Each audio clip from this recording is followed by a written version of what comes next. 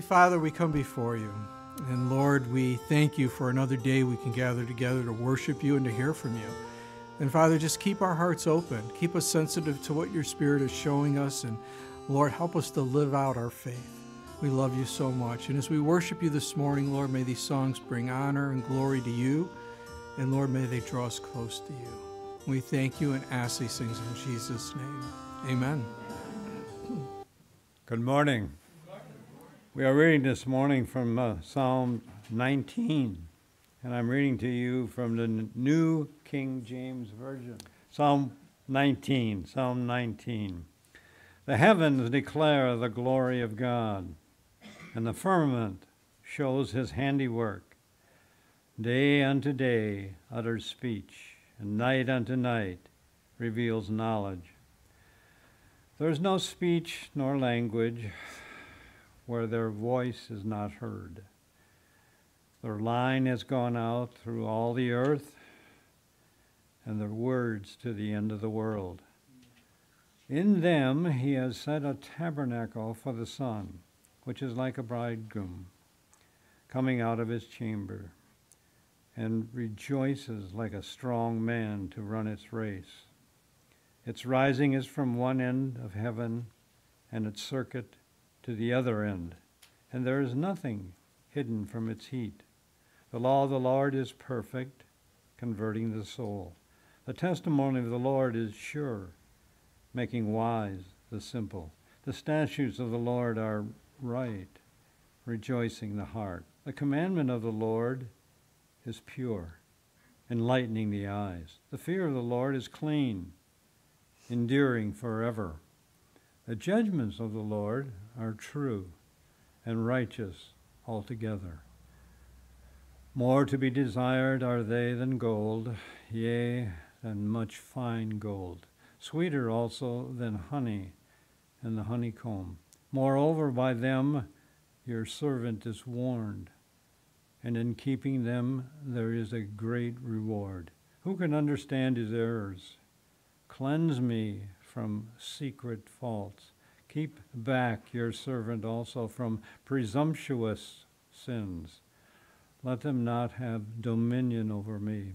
Then I shall be blameless, and I shall be innocent of great transgression.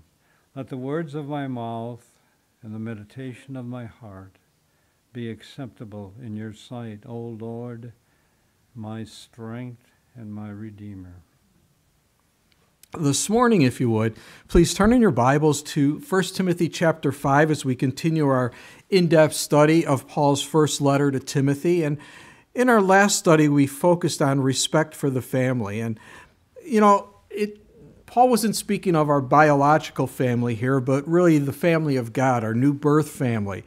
And that's not to say that we're not to respect our biological family but that wasn't the focus that Paul was uh, dealing with in those verses. And specifically, how do we deal with sin among the brethren is kind of the focus of those verses. Not ignoring it, but to deal with it and deal with it with the idea of restoration, not destruction. You know, uh, you, you, see a lot of this with the news, you know, uh, and a lot of uh, people out there that want to destroy people. They don't want to help them.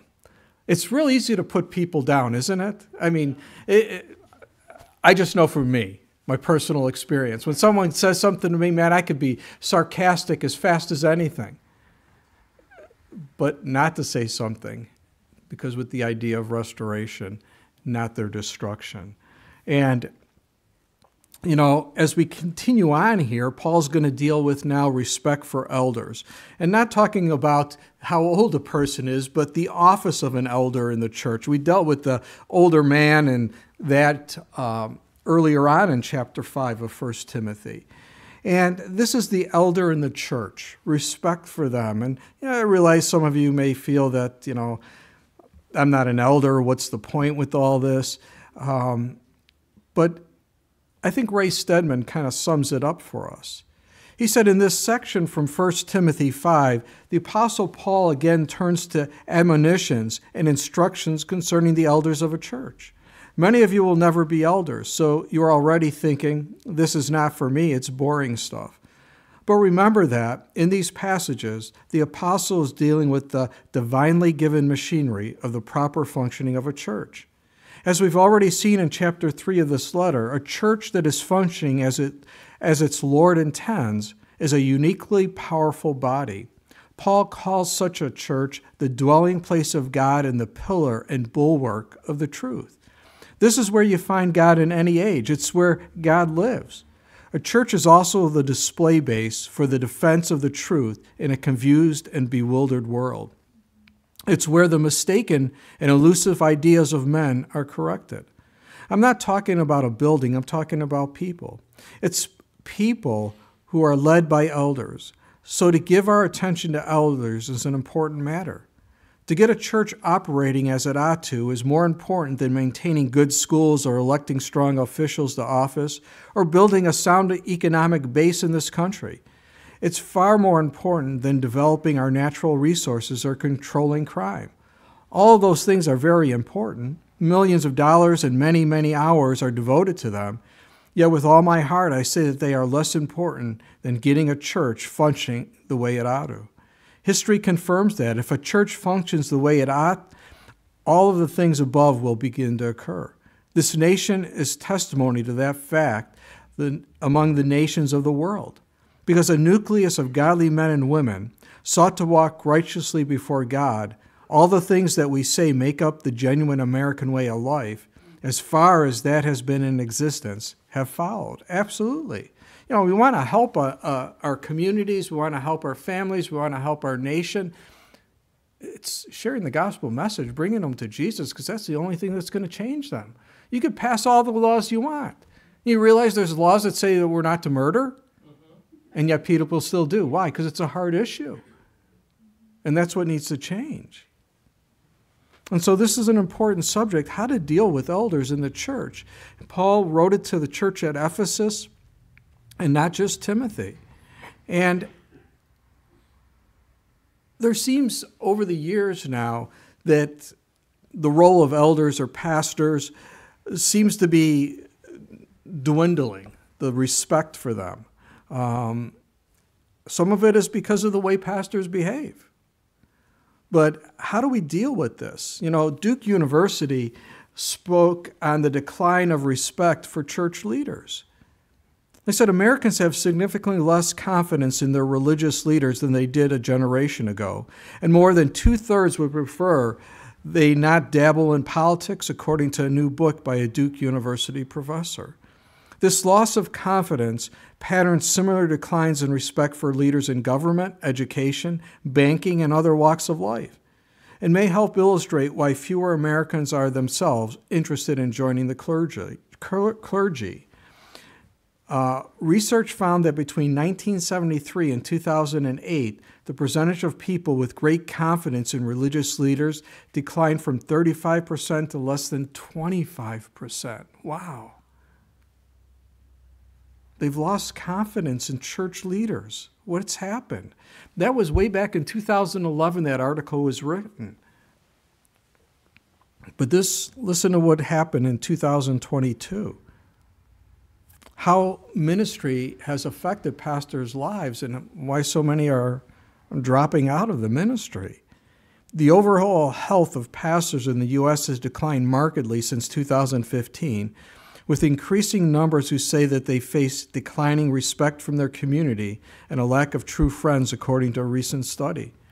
Data collected by faith based organization Barna Group as part of its resist, resilient pastor research showed a significant decrease in pastors' spiritual, mental, and emotional well being, as well as their overall quality of life between 2015 and 2022.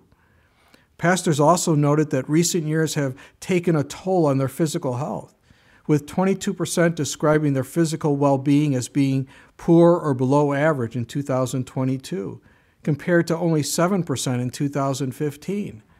While 24% said their physical health was excellent eight years ago, only 9% said the same last year. Pastors who describe themselves as emotionally or mentally exhausted jumped from 21% in 2015 to 32% in 2022. and those who describe the respect they receive from members of their community as excellent dropped from 22% down to 10%. That's crazy. There's a 42% of ministers wonder if they should abandon their vocation altogether amid unsustainable stress and loneliness. Almost half of pastors today are so stressed out that they are thinking about dropping out. What happened?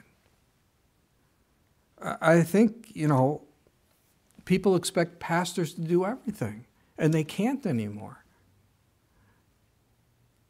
And, you know, searching for a pastor, what do people even expect of them? Well, I'll give you a, a, list. I failed at the first one, so just so you know, you don't have to tell me. He preaches exactly 20 minutes and then he sits down. What are you laughing at? All right. I think I could fulfill this one because I'm getting older, and maybe after 20 minutes I may have to sit down, but yeah, that's not the end. He condemns sin but never steps on anybody's toes. I don't know how you do that. He works from 8 in the morning to 10 at night, doing everything from preaching sermons to sweeping. He's 36 years old. He's been preaching for 40 years. He's tall on the short side heavy set in a thin sort of way, and handsome. He has eyes of blue or brown to fit the occasion and wears his hair parted in the middle. Left side, dark and straight, right side, brown and wavy. Oh my gosh, you know? He has a burning desire to work with the youth and spends all his time with the senior citizens. He smiles all the time while keeping a straight face because he has a keen sense of humor that finds him seriously dedicated. He makes 15 calls a day to church members, spends all his time evangelizing non members, and is always found in his study if he's needed. Unfortunately, he burned himself out and died at the age of 32. Yeah, that's probably the reality. It's funny, and yet we see this happening today, and it's taken its toll on pastors. Now, here in 1 Timothy 5, there's some guidelines on how leaders should be treated, uh, how to pick them, and so on. I've broken it down into uh, these points, and they're in your bulletin. Faithful service in 1 Timothy 5, verses 17 through 18. Leadership correction, 1 Timothy 5, 19 through 21. Raising up leaders, 1 Timothy 5, 22. Physical problems, 1 Timothy 5, 23 and be observant. 1 Timothy 5, verses 24 through 25. So let's begin reading this morning. 1 Timothy chapter 5, beginning in verse 17, as we look at this topic, respect for leaders. This is what Paul wrote Timothy. Let the elders who rule well be counted worthy of double honor, especially those who labor in word and doctrine. For the scripture says, You shall not muzzle an ox while it treads out the grain, and the laborer is worthy of his wages. Again, this is faithful service. That's the focus, I think, of these verses. And Paul speaks of elders, and that means the pastor or shepherds and elders who were in charge with the spiritual aspects of the church. Remember, deacons dealt with the physical aspects of the church. And the idea here how do you transition from dealing with widows in the previous verses and now with elders? But the whole idea is how do you care for these people? Just like you, how do you care for widows? And I know some feel that some of these elders were not teachers by what's written in these verses. First of all, all pastors need to be teachers. That's the bottom line. I mean, how do you be a pastor without being a teacher? That makes absolutely no sense to me. Uh, we're to bring the word of God to people. But I think what Paul is saying here is that some elders were teachers, um, and that wasn't their focus, though. Notice it says, especially those who labor in word and doctrine. That's a focus of some of these teach these elders and these pastors their whole focus was the Word of God, was with doctrine. The others, not so much, but they filled in from time to time. Like Steve or Mike, who came up from Oshkosh to teach. They fill in from time to time in the ministry in teaching the Word of God. But I believe elders are to be teachers. I would not have an elder who's not a teacher. Uh, what if they're over the Sunday school? Well, then they're more deacons. They're dealing with the um, different aspect of the church or cleaning the church or whatever. And here, how are they compensated for their labor? Well, Paul says they're worthy of double honor. What's that mean? Well, I think he's speaking of their pay for their service to the Lord as the church is able. Now, I know some people feel church shouldn't pay a pastor, but I don't agree with that. I don't think that's what the scriptures teach. Um, you know, Paul said, For the scripture says, You shall not muzzle an ox while it treads out the grain, and the laborer is worthy of his wages. In other words, it's cruel for a farmer to bind the mouth of a, uh, a, a, an ox while he's treading the grain, preventing him from eating, even though he's working. He's threshing the grain. And so to, to refuse to support those who provide spiritual food is just as unjust and heartless as it would be to muzzle an animal. Now, do we see this in the scriptures? Yeah, the Old Testament.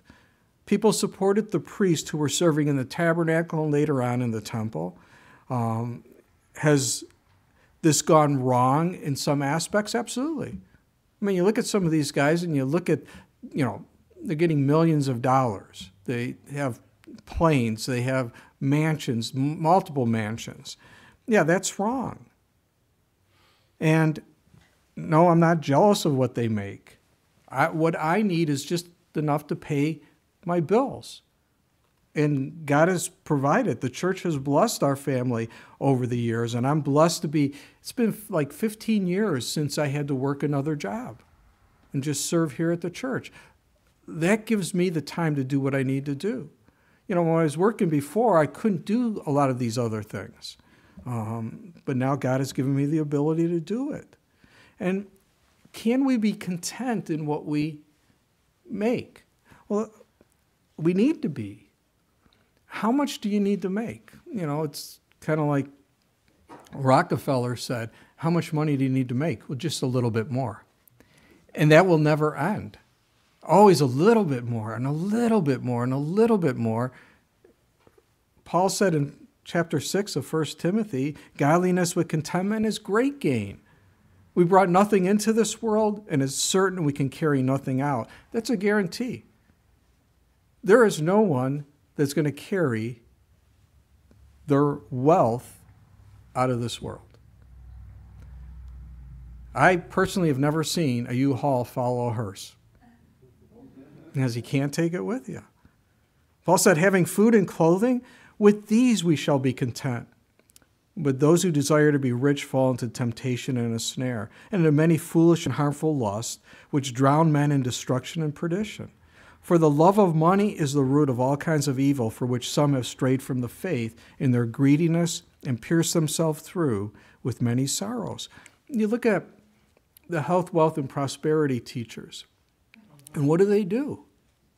Oh, you know, sow your seed faith gift to me. If you give a hundred, you're going to get, you know, 500 back. Well, you know what? Give me a hundred and you'll get 500 back, right? That's what I like to tell them. But they make a profit off of people, and people give so much to these people. I've seen some shows where they have money strewn all over the floor and they're just kind of rolling in it. I'm thinking, wow, how is this honoring to God? Can we be content with what we have? Can't, because if we can't, we're not going to be able to stay focused on the work that God has called you to do. If you love money more than God, you're going to be in trouble. Paul says you need to be content. Now, here in verse 18, I want to bring up this point because there's many who like to negate the scriptures or say, you know, these words were written at much later dates, but Paul in verse 18 quotes out of Luke 10:7. He says, "For the scripture says." What is he saying? He's saying that Luke is part of the scriptures. In 2 Peter 3, verses 15 and 16, Peter tells us that Paul's letters are part of the scriptures, God's word. And in 1 Corinthians 11 24, uh, Paul quotes once again from Luke 23 19, saying it's from the scriptures. What's my point? My point is that these letters were written, and they were not only written and read in the church, but they were passed on to other churches. So they were familiar with them. So this is the Word of God. We can trust it. And those who are faithful in service are to be taken care of. And that's the key faithful service, that they're teaching the Word of God. And if they're not faithful, they shouldn't be in ministry, let alone paid. Now, what if leaders need to be corrected? Well, that's what we're going to look at next leadership correction. Look at verse 19 here in 1 Timothy chapter 5. Do not receive an accusation against an elder except from two or three witnesses. Those who are sinning rebuke in the presence of all, that the rest also may fear. I charge you before God and the Lord Jesus Christ and the elect angels that you observe these things without prejudice, do, doing nothing without partiality. You know, make no mistake about it, leadership, those in leadership are targets for Satan's attack. And it's kind of like they have a bullseye painted on their chest.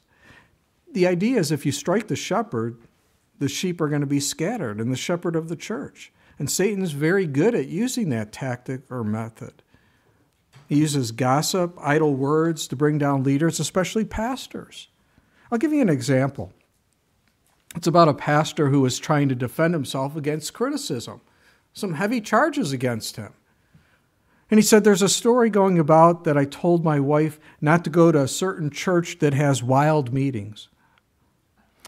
They say my wife went anyway, and I dragged her out of the church by her hair. And I hurt her so badly she had to go to the hospital. I mean, these are serious charges. Don't laugh, man. This is serious. Let me respond to these accusations. First of all, I never told her to stay away from that church. Second, I didn't drag her out by her hair. Third, she never had to go to the hospital. Lastly, I've never been married, so I don't have a wife. and that's Paul's point here. Before you believe anything about a leader, check out the story you were told with more than one witness. Don't believe everything you hear. But if the accusations are substantiated, then it needs to be acted upon. And I'm not talking about trivial things like likes and dislikes and people's opinions. I'm talking about sin, false teaching, heresy.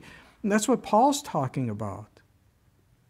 You know, Barclay said nothing does more harm than when someone when some people are treated as if they can do no wrong and others as if they can do no right. Absolutely. You know, Clarke goes says put it like this. He said the reason of this difference is evident. Those whose business is to correct others will usually have many enemies. Great caution therefore should be used in admitting accusations against such persons. That's true. But again, just because you're in leadership or an elder doesn't shield a person from accountability. In fact, they're more accountable. But Paul puts in this protection that there has to be more than one witness to protect them, which is important. You know, what about here at Calvary? What if I, you know, got into some sin or started teaching heresy? What do you do? What can you do? Well, Steve can confront me on it, being the elder, but he couldn't remove me from the position. What he would then do if I refused to do anything, or if it was a sin that I did need to be removed by, he would go to another Calvary pastor and speak to him, and he would come and talk with me. And if I refused to deal with the sin, or if the sin was bad enough to have me removed from my position, he has the authority to remove me. It's not that the church can remove me or an elder could remove me, but another pastor, senior pastor, can do that. It protects me and it protects you. Uh, you know, John Calvin, in his commentary on 1 Timothy, said, uh, explained what the reasons are why people are so quick to receive an accusation against a pastor. He said, The more sincerely any pastor strives to further Christ's kingdom, the more he is loaded with spite, the more fierce do the attacks upon him become. And not only so, but as soon as any charge is made against ministers of the word, it is believed as surely and firmly as if it had been already proved. This happens not only because a higher standard of integrity is required for them, but because Satan makes most people, in fact, nearly everyone, over credulous so that without investigation, they eagerly condemn their pastors whose good name they ought to be defending. Absolutely. You know, being in Russia and talking with the, these pastors, a lot of them are going through struggles within the church, uh, people fighting amongst themselves, uh, lots of attacks. And I said, you know, I understand what you're going through. But if you were doing nothing for the Lord, Satan would leave you alone because he could care less if you're not doing anything. But you are a faithful minister of Jesus Christ. You are sharing the gospel message. You are teaching the word. And that's why you are being attacked so much. And it's true. We have to be careful. And you know, if a pastor or elder is guilty of immoral behavior or illegal activity, he needs to be rebuked and rebuked publicly, which seems harsh, but leaders are held to a higher standard. Remember when Paul confronted Peter? You know, Peter refused to eat with the Gentiles, and he, he ate with the Jews, Jewish believers. In fact, he got Barnabas to join him. So he's getting others to be involved in his bad behavior. And Paul rebukes him publicly. Why? Because his actions affected so many people that it needed to be done in public. To say, Peter, you're wrong here, and everyone needs to hear that because you've got people behaving like you are. Yeah, it's not easy. And hopefully, you know, as others see it, if they want to get involved in the ministry, they'll go, hey, man, you know, I need to take this pretty seriously. If I go astray, this could happen to me. Yeah, it is a serious position. And again, though, as we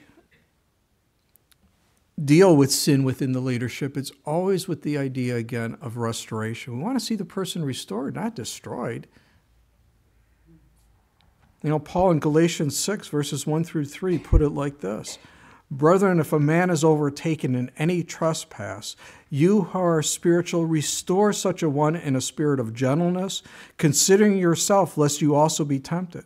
Bear one another's burdens, and so fulfill the law of Christ. For if anyone thinks himself to be something when he is nothing, he deceives himself.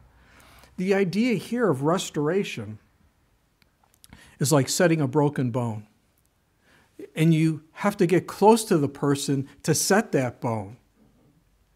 And then when that bone heals, that bone is even stronger than it was before. And that's the idea.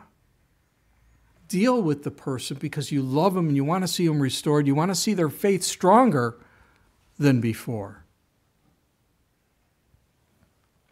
But again, if a leader is involved in a sin, uh, there are certain things that removes them from their position. That's just the way it is. And when you deal with this, you don't show favoritism. You just deal with it the way God has said. And there's a great responsibility, you know, without prejudice, without partiality. And James hit on that. He said, My brethren, in James chapter 2, do not hold the faith of our Lord Jesus Christ, the Lord of glory, with partiality. Not at all. It doesn't matter if someone's rich or poor, young or old. It doesn't matter what, who they are. you treat them the same. And I, again, I think it's important that as a, a body of believers, that's what we do. Fact, Paul in Galatians chapter 3 said there's neither Jew or Greek, neither slave or free, there's neither male or female, for you are all one in Christ. And if you are Christ, then you are Abraham's seed and heirs according to the promise. And Jesus is not a respecter of persons, he treats us all fairly according to our role in the church and life, and we need to do the same. And again, as leaders, we're not going to be perfect. Not at all. I'm far from that. Don't talk to my wife after church today. She can, but she would tell you. But, you know, we do the best that we can as God gives us the ability. And, you know, it's, it's dealing with that flesh that we all battle with.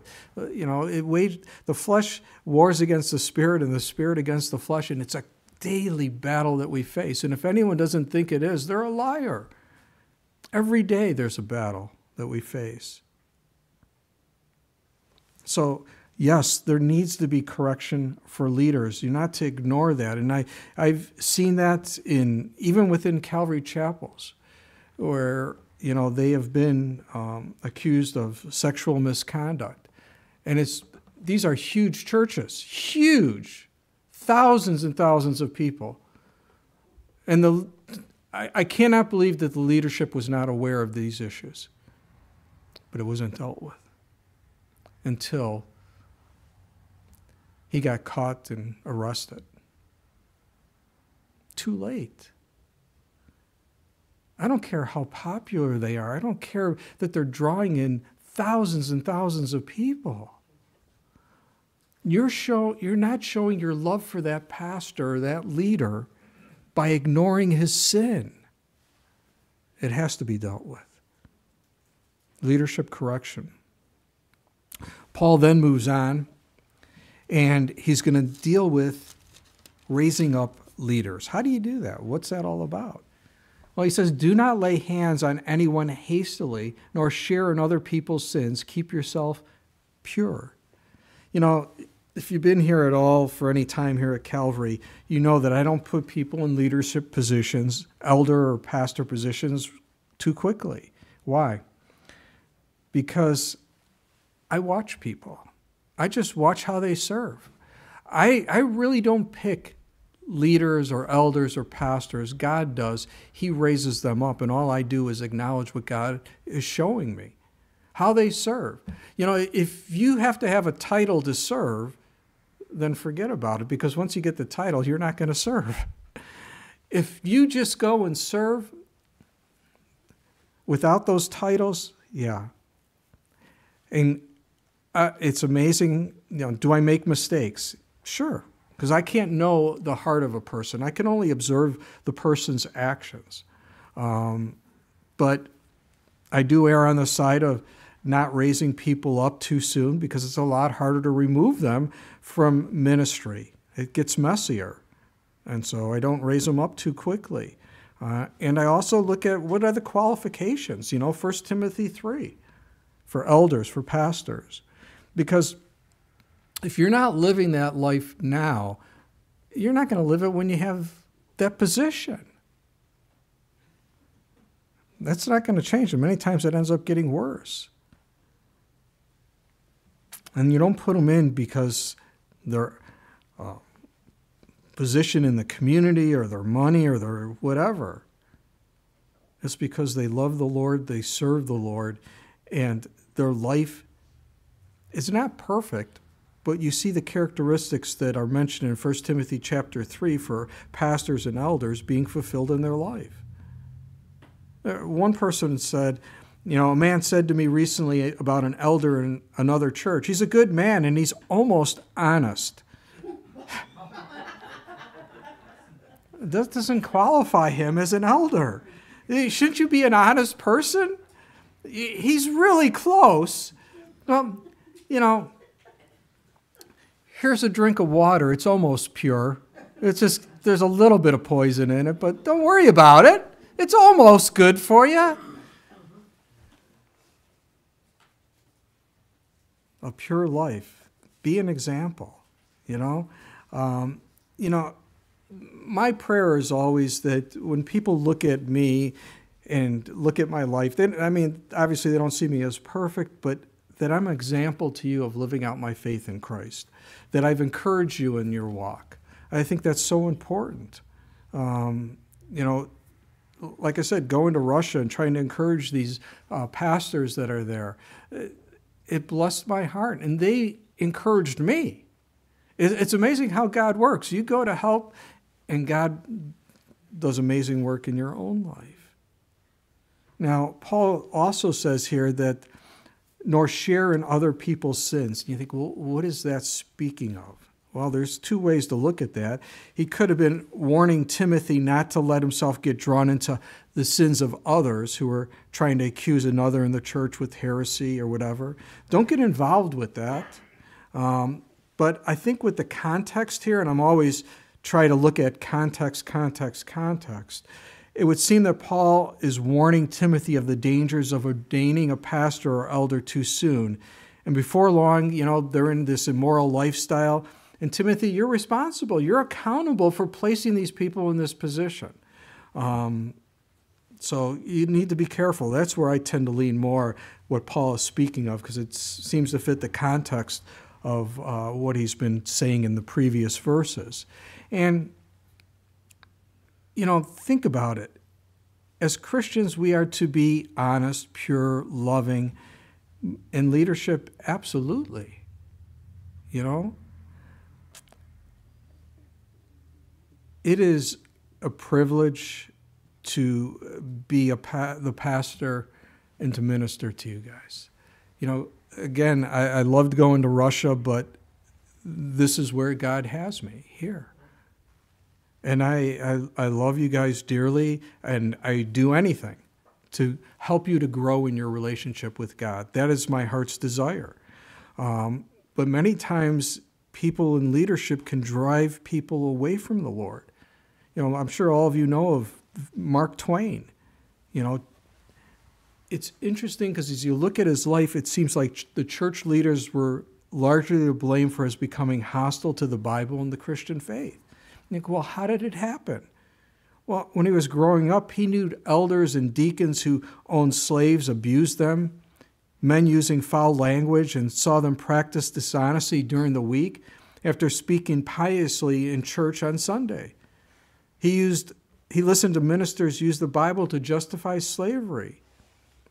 And he did see genuine love for the Lord in some people, including his mother and his wife. But he was so disturbed by the bad teaching and poor example of church leaders that he was bitter towards the things of God. Wow, Lord, help me never to be a bad example to people. You know, again, a privilege to be an elder, a, a deacon, a Sunday school teacher, whatever. But it comes with a big responsibility. And our desire is always to draw people to Jesus. Paul said, Follow me as I follow Christ. And that's always the key. The same with Joshua. The, children of Israel said to Joshua, Man, we're going to follow you as long as you follow the Lord. And that's the key. You just don't follow people if they're not following the Lord, because where are they going to go? you follow people that are following the Lord. And so leadership is important because you're dealing with people and you're re- representing God before them. So raising up leaders, Paul deals with that. As we look read on, we're going to be looking at some physical problems Timothy had. Verse 23 says, No longer drink only water, but use a little wine for your stomach's sake and your frequent infirmities or illnesses. So as you read this, it almost seems like, does this make any sense? You're talking about, Paul, about Timothy's illness here. Well, Timothy was probably abstaining from alcohol to be an example, and he suffered from some kind of gastrointestinal illness. I don't know. I, I know it as Montezuma's revenge. You know, don't drink the water down in Mexico or you're going to get sick. Uh, I think that was the whole idea. And so the fermentation process would eliminate some of these harmful bugs in the water and help Timothy out. So he says, you know, it's okay to drink a little wine. He doesn't tell him, you know, get drunk, but yeah, drink a little wine because it'll help your stomach problems. And it, it almost seems like Timothy was kind of a sickly person. Maybe it was due to just the GI problems that he had, but he had frequent infirmities, infirmities or illnesses. Now, I find it interesting because Paul didn't name and claim a healing for Timothy, did he? You know, not everyone is healed. And Paul never felt the Lord saying to heal Timothy. Healing is always based upon God's will. Why do some people get sick, some Christians that are dynamic men and women, and they die? While others are just horrible people and they live. Hey, I leave it in the hands of God. Maybe because the horrible person needs to come to saving faith. That's why he's still around. I don't know. But it wasn't a lack of faith or some sin in Timothy's life. You know, Paul prayed three times for that thorn in the flesh to be removed. We don't know what it is. It could have been just the, the, severe eye problems he had. It was so bad that he couldn't even write. He had others write for him. But what did the Lord tell him? My grace is sufficient for you, for my strength is made perfect, in weakness. Not all are healed. Now, there was a gentleman who wrote, When I was searching for hard evidence of God as an alternative to faith. One day I found it on television, of all places. While randomly flipping a dial, I came across a mass healing service being conducted by Kathryn Kuhlman. I watched for a few minutes as she brought various people up on the stage and interviewed them. Each one told an amazing story of supernatural healing cancer, heart conditions, paralysis. It was like a medical encyclopedia up there. As I watched Kuhlman's program, my doubts gradually melted away. At last, I had found something real and tangible. Kuhlman asked a musician to sing her favorite song. He touched me. That's what I needed, I thought a touch, a personal touch from God. She held out that promise, and I lunged for it. Three weeks later, when Kathryn Kuhlman came to a neighboring state, I skipped classes and traveled half a day to attend one of her meetings. The atmosphere was unbelievably charged soft organ music in the background, the murmuring sound of people praying aloud, some in strange tongues, and every few minutes a happy interruption when someone would stand and claim, I'm healed. One person especially made an impression. A man from Milwaukee who had been carried into the meeting on a stretcher. When he walked, yes, walked on stage, we all cheered wildly. He told us he was a physician, and he was even more impressed. And I was even more impressed. He had an incurable lung cancer. He said he was told he had six months to live. But now, tonight, he believed God had healed him. He was walking for the first time in months. He felt great, praise God. I wrote down the man's name and practically floated out of that meeting. I had never known such a certainty of faith before. Notice what his faith is based upon, okay? This is key. My search was over. I had seen proof of a living God in those people on the stage. If he could work tangible miracles in them, then surely he had something wonderful in store for me. I wanted contact with the man of faith I had seen at the meeting, so much so that exactly one week later, I, I phoned directory assistance in Milwaukee and got the physician's number. When I dialed it, a woman answered the phone. May I please speak to Dr. S? I said. Long silence. Who are you? She said at last. I figured she was just screening calls from patients or something. I gave my name and told her I admired Dr. S. and had wanted to talk to him ever since Kathryn, Kathryn Kuhlman meeting. I had been very moved by his story, I said. Another long silence. Then she spoke in a flat voice, pronouncing each word so slowly My husband is dead. Just that one sentence, nothing more, and she hung up. I can't tell you how, devast- how that devastated me. I was wasted. I half staggered into the next room where my sister was sitting. Richard, what's wrong? she asked. Are you all right? No, I was not all right, but I couldn't talk about it. I was crying. My mother and sister tried to pry some explanation out of me, but what could they I tell them? For me, the certainty I had staked my life on had died with that phone call. A flame had flared, bright for one fine, shining week, and then gone dark like a dying star. Wow. His faith was all based on this person being healed. And yet the Bible tells us faith comes by hearing, and hearing by the Word of God. Our faith has to be based upon God, not upon some circumstance. And healing is based on the will of God. And here's the thing hear me out. God's desire is that all are healed. Now, I know you guys are getting a little nervous. What's he talking about? All are healed. You know me. But it's true. Not name it, claim it, grab it, blab it, miracles for money theology. Isaiah 53 5.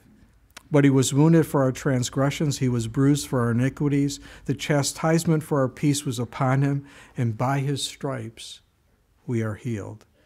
I'm talking about spiritual healing for all who come to Jesus. That is the most important healing that can happen in our lives.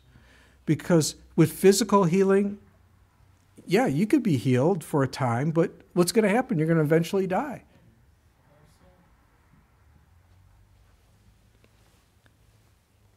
And thank God one day these physical bodies will be changed. We'll get new bodies for our spirit and soul to dwell in that will never get sick, never fade away. And we'll be able to travel. It won't be 16 hours on a plane. It will be there, you know. It'll be great. And I can get out of, I don't know if we'll sleep, but if I have to get out of bed, I won't groan. Praise God. And Paul in Romans 8, verses 18 through 23, put it like this For I consider that the sufferings of this present time are not worthy to be compared with the glory which shall be revealed in us. Yeah, our focus. Yeah, it, it's hard because in these bodies we have pain. We go through difficult times. But we have to look ahead to the glory, where we're going for the earnest expectation of the certain of creation eagerly waits for the revealing of the sons of God. For the creation was subjected to futility, not willingly, but because of him who subjected it in hope. Because the creation itself also will be delivered from the bondage of corruption into the glorious liberty of the children of God. For we know that the whole creation groans and labors with birth pangs together until now. Not only that, but we also who have the first fruits of the Spirit, we are even we ourselves groan within ourselves, eagerly waiting for the adoption, the redemption of our body. Oh yeah, man, one day we're going to be received up into glory. And we will never get sick. These bodies won't break down, fall apart, die. And God's preparing this mansion for us, a permanent dwelling place for our spirit and soul to dwell in. This life is temporary. What God is offering us is eternal life that will never fade away. And is it easy? No, it's not always easy. And I realize some of you may feel, you know, Pastor Joe, you don't know what I'm going through. This illness has made me incapacitated. I can't do anything. I don't want to do anything. I want to just die. I'm not saying it's easy. I'm not saying you're weak in the faith if you're struggling, because we all struggle. But let me share with you an encouraging story, because I think sometimes we need to be reminded that whatever happens in our lives, God is in control. It was way back in the summer of 1967. Joni Eareckson and her sister rode their horses in the Chesapeake Bay and they went for a swim but it didn't turn out well. Joni dived into shallow water, struck her head on a rock, and became a quadriplegic, paralyzed from the neck down. During two years of painful rehabilitation, she learned how to paint with her mouth and what this disability meant for her faith. Was she angry with God? At times. Sure, let's face it, we're human, right? How could this happen? God, what are you doing? And she wished at times that she didn't even survive. But since then, she learned that it is in her weakness that God's strength can shine through. She's blessed so many people all over the world and shares her faith, faith that sustains her. It wasn't because she was healed, it's because of who God is. And yeah, at first it was she found it impossible to reconcile her condition with her belief in a loving God. But she understood. She came to that realization. And the catalyst was a good friend who said to her, and I always find it interesting how important friends are, godly friends. Joni, Jesus knows how you feel. He was paralyzed. He couldn't move or change position on the cross. He was paralyzed by the nails. And she said the realization was profoundly comforting.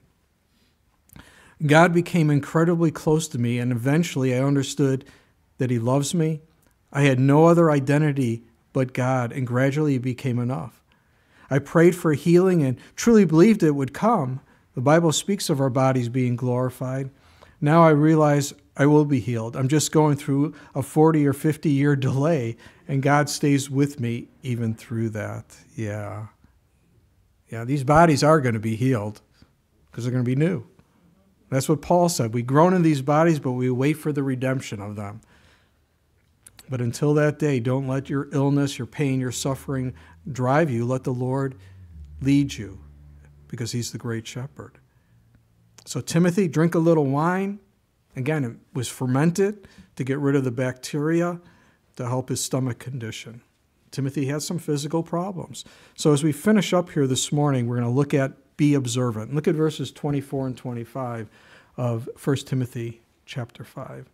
Some men's sins are clearly evident, preceding them to judgment, but those of some men follow later. Likewise, the good works of some are clearly evident, and those that are otherwise cannot be hidden. Again, keep in mind the context here, uh, the pointing of elders, church leadership, dealing with sin in the family of God. And Paul is telling Timothy, be observant, pay attention. You know, there are people that are very good at covering their sins. So, looking at what they're doing can be deceptive. Watch and pray before you raise up leaders in ministry. Um, on the other hand, good workers are clearly seen, they're not hidden, or good works, I should say.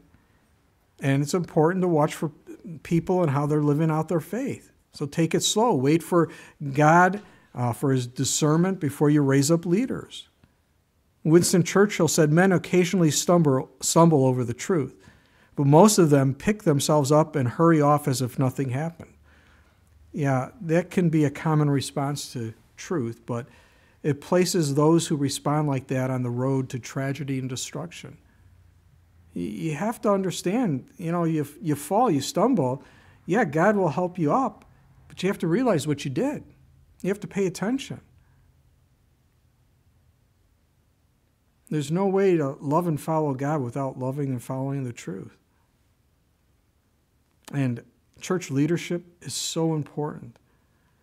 I think that is what Paul's point is in Ephesians chapter 4 verses 12 through 16. What is the reason God has placed these leaders in the church? Well, he said for the equipping of the saints, for the work of the ministry, for the edifying of the body of Christ, till we all come to the unity of the faith and of the knowledge of the Son of God, to a perfect man, to the measure of the stature of the fullness of Christ that we should no longer be children tossed to and fro and carried about with every wind of doctrine by the trickery of men and the cunning craftiness of deceitful plotting. But speaking the truth in love may grow up in all things into him who is the head, Christ, from whom the whole body, joined and knit together by what every joint supplies according to the effective working by which every part does its share, causes growth of the body for the edifying of itself in love. That's what leadership is all about. Is helping people grow and use the gifts that God has given them to help them not be blown away by the winds of doctrine that blow through the church. And I've tried to do that over the years. Do people get mad at me? They do. But you know what? Uh, that's tough. Sorry.